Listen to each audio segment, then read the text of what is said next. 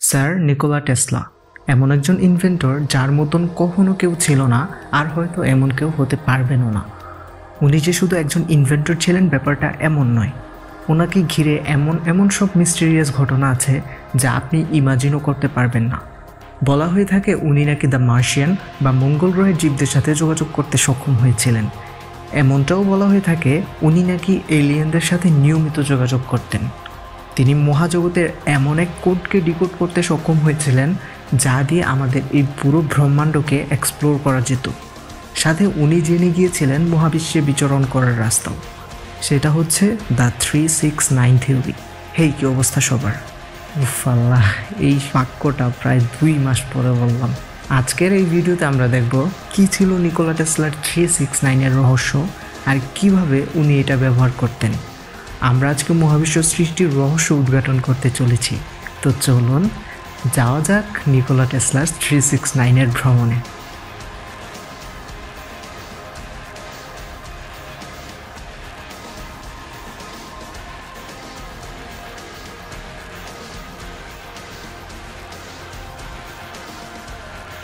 Sir Nikola Tesla three six নাইনকে এমনভাবে নিজের জীবনের সাথে জড়িয়ে নিয়েছিলেন যে বলা হয়ে থাকে যে উনি যদি কোথাও যেতেন, তাহলে ওই জায়গার পরিবেশ বা চারপাশে তিনি তিনবার চক্কর কাটতেন এবং এরপরে ওই স্থানে প্রবেশ করতেন। যদি কোনো হোটেল রুম তিনি বুক করতেন, তিনি এমন রুম নিতেন যেটার সংখ্যা তিন দিয়ে ডিভাইডেড বা বিভাজ্য। খাবার খেতে গেলে আঠারোটা ন্যাপকিন ব্যবহার করতেন আঠারো এমন একটা নাম্বার যেটা থ্রি সিক্স নাইন তিনটা সংখ্যা দিয়েই বিভাজ্য। নিকোলা টেসলার মতে if you only knew the magnificence of the three six nine then you would have the key to the universe sir, Nikola Tesla চাইতেন আমাদের এই পৃথিবী থ্রি সিক্স নাইন সিগনিফিসেন্সকে বুঝুক আর আমাদের এই মহাবিশ্বকে জানুক। তো কি আছে এই সংখ্যাগুলোর মধ্যে? আর স্যার, নিকোলা টেসলা আমাদেরকে কি জানাতে চেয়েছিলেন এই নাম্বারগুলোর মাধ্যমে? আমরা জানি সমস্ত পদার্থ অ্যাটম দিয়ে তৈরি, আর অ্যাটমে আছে তিনটি sub atomic particle, electron, proton আর নিউট্রন। সময়েরও তিনটা স্টেট রয়েছে আমরা জানি, প্রেজেন্ট, পাস্ট এবং ফিউচার। এই থ্রি সিক্স নাইনের ভেতরের কাহিনীকে বোঝার জন্য আমাদেরকে আগে ম্যাথমেটিক্সকে জানতে হবে। ম্যাথমেটিক্স এটা এমন একটা ব্যাপার যা দিয়ে আমরা এই মহাবিশ্বের যে কোনো কিছুর সাথে যোগাযোগ স্থাপন করতে পারি। এটা বলা হয়ে থাকে English is an international language but math is an universal language আমাদের এই পৃথিবীতে যদি দুই যোগ দুই চার হয়, তাহলে মহাবিশ্বের সব জায়গাতেই দুই যোগ দুই ইকুয়াল ফোর হবে। এখন আমরা একটা জিনিস জানব, সেটা হচ্ছে সেক্রেট প্যাটার্ন এটা এমন একটা প্যাটার্ন এমন একটা ল যেটা আমাদের এই মহাবিশ্বের সব জায়গায় ফলো হয়ে থাকে। ল এটা কি? সেটা আমরা যদি একটা উদাহরণ দিই, তাহলে খুব সহজেই বুঝতে পারব।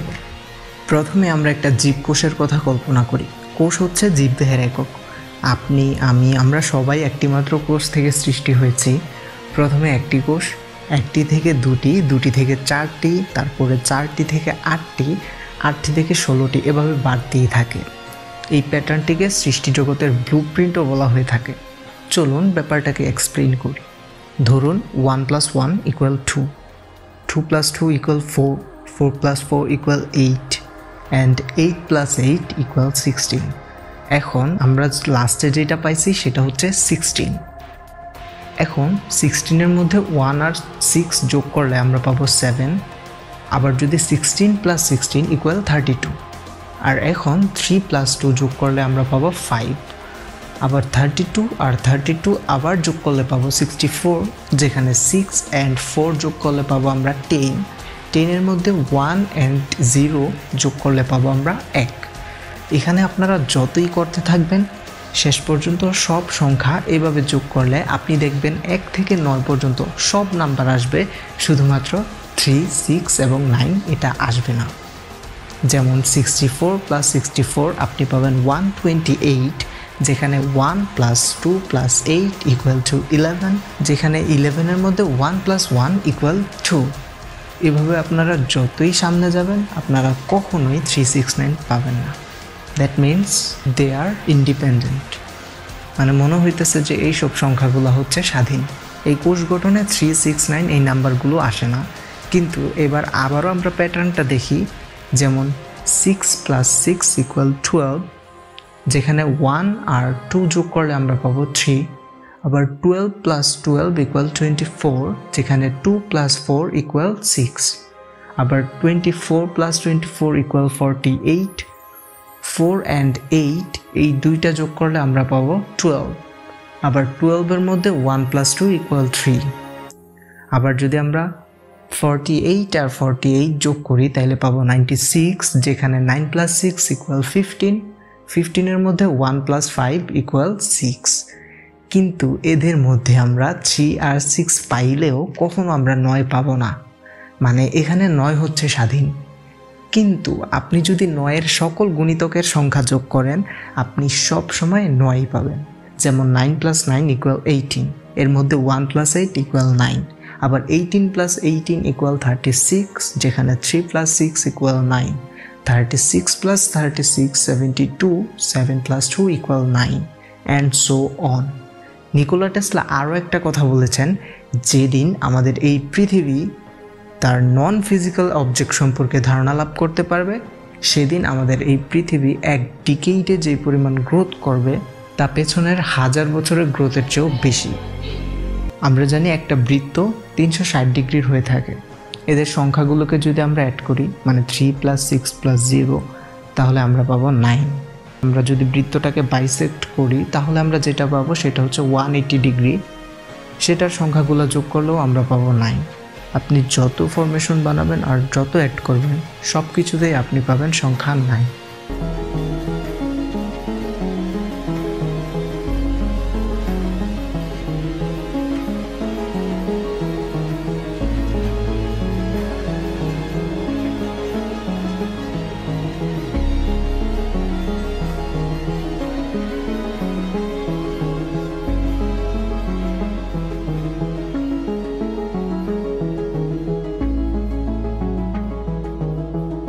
ইভেন আপনি যখন একটি ত্রিভুজ নেবেন, সব অ্যাঙ্গুল যোগ করলে আপনি পাবেন ওয়ান এইটি ডিগ্রি সেই সংখ্যাগুলোকে যোগ করলেও পাবেন নাইন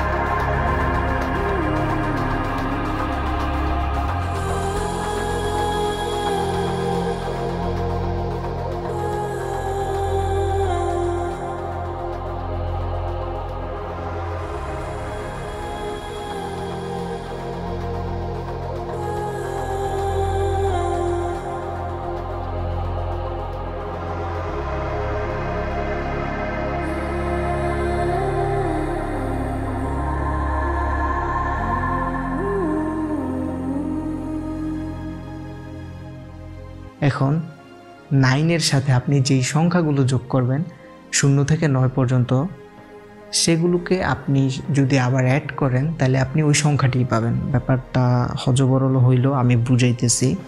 যেমন হচ্ছে নয়ের সাথে যোগ করলেন পাঁচ। এখন নয় আর পাঁচে যোগ করলে কি হবে? চোদ্দ।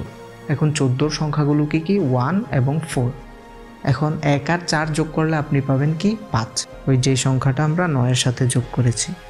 আবার নয়ের সাথে যদি আমরা আট যোগ করি, আমরা পাবো কি? সেভেন্টিন মানে সতেরো। এখন সতেরো এর সংখ্যাগুলো মানে হচ্ছে এক আর সাত, এগুলো যোগ করলে পাবো আট। ওই যেটা আমরা একটু আগে অ্যাড করছি। বোঝান না? আমাদের এই মহাবিশ্ব একটার সাথে আরেকটা কানেক্টেড থ্রি সিক্স নাইনের সাথে আরও অনেক ব্যাপারগুলো আছে। আপনাদেরকে আমি এগুলা সুন্দরভাবে নেক্সট ভিডিওতে এক্সপ্লেন করব।